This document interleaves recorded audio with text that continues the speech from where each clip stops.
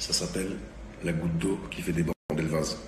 Et vu que mon problème, c'est que je parle toujours avec beaucoup d'émotion, vu que j'ai cette sincérité qui m'empêche en fait de rentrer dans une hypocrisie stratégique de laquelle tous mes collègues font partie pour la plupart, eh ben, j'ai décidé de vous expliquer calmement qu'est-ce qui en fait en fait que ça en vient cette accumulation et qu'est-ce qui fait que j'en pète un plomb. Et la première des choses que je vais faire, c'est m'excuser auprès de la maman de Leto parce qu'elle n'a absolument rien à voir avec ça et que je suis le premier à être dégoûté quand ça en vient à toucher les parents, la famille, etc.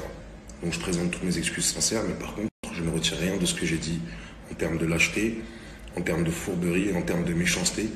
Donc je vais vous expliquer parce que vous voyez ce qu'on veut vous montrer et vous ne voyez jamais les coulisses. Et je suis le premier à le dire, le linge sale, ça se lave en famille, on ne descend pas le gérant devant les Yankees.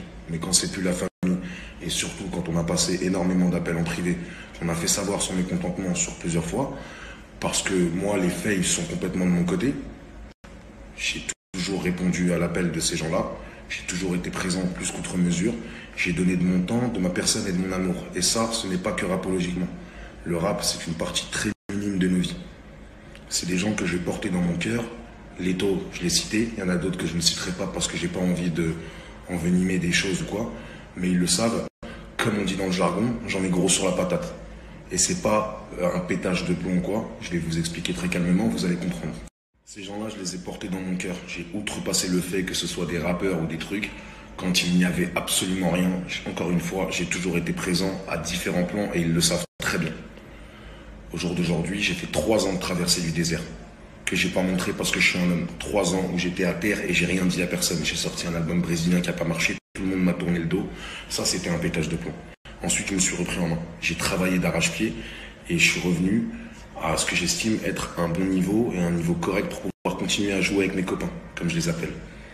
Le souci, c'est quoi? C'est qu'en fait, quand on donne de son affection, de son temps, de son amour et de son respect, quitte à s'en user la santé, ça fait mal quand on voit qu'en fait les autres réfléchissent qu'en fonction de numérologie ou de chiffres. Parce que moi, j'ai jamais réfléchi comme ça. J'ai une carrière bien fournie.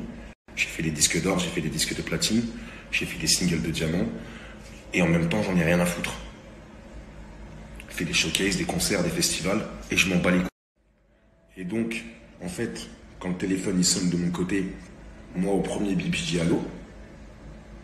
Et ensuite, quand le vent tourne de leur côté, on doit parler avec des managers, on doit parler avec des gens de l'entourage. Ça devient tout d'un coup des artistes. C'est quand même génial comme truc. Sachant que j'y ai mis beaucoup d'émotions. Par exemple, j'ai eu un enfant dernièrement, j'en ai pas vu un seul venir prendre des nouvelles de mon fils. J'en ai pas vu un seul passer à la maison pour voir mon fils. C'est plus ce genre de choses qui me blessent. Et en vrai de vrai, le partage de son, c'est un prétexte pour manifester tout ça. Maintenant, je le dis clairement, il n'y aura aucun recul, aucune marche arrière. Dire aussi clairement que clairement, allez on, va, allez, on va utiliser le bon français, pour être clair comme de l'eau de roche, ça se réglera comme ils veulent que ça se règle.